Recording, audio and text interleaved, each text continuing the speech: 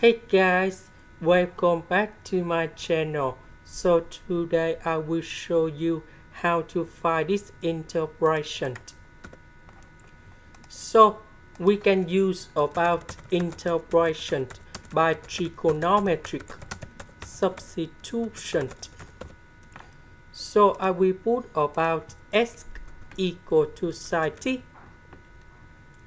or we can use about secant of t. So if I put this one goal here, we got about secant of t square minus number one. Later that we can change about tan t square and then we can simplify this one and ds. Next, we can do about first the derivative for the both side and we got like this so I will put this one gone here. Ds we change for this one.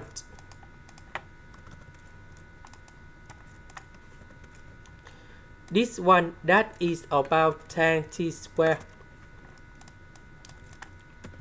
So number 2 multiplied by 3 over 2 that is about tan t to the power of 3. So tan t and tan t we can simplify. Next, we have the formula in here.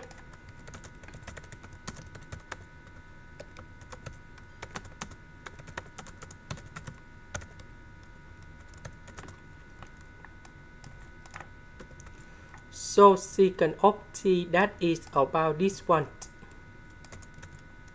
This one that is about this one.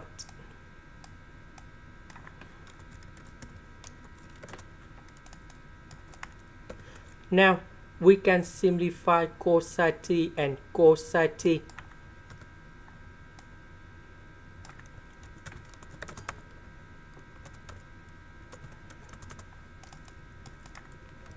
So cosine t, I will put this one gone here.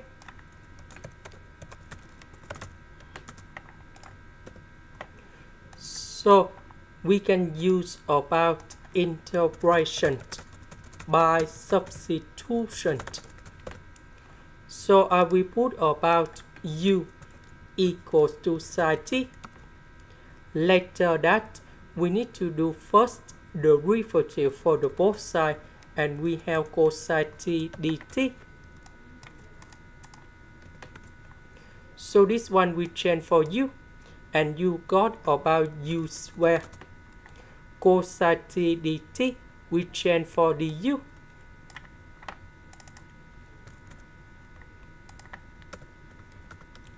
The integration of this one that is about negative 1 over u and I will put about c about u that is about sine t about t that is about this one. So we can find the value of t. That is about secant of s. So I will put this one to change for t.